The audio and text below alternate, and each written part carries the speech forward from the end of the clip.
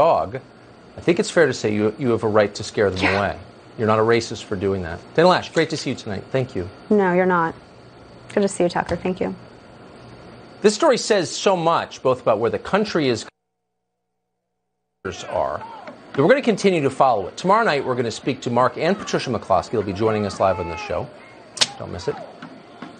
Well, the country is seeing a big spike in coronavirus cases. Countries are responding. Europe has imposed a travel ban against the U.S. And yet. Our great senators. Hi, Chuck. He used to love me when I was a Democrat, you know.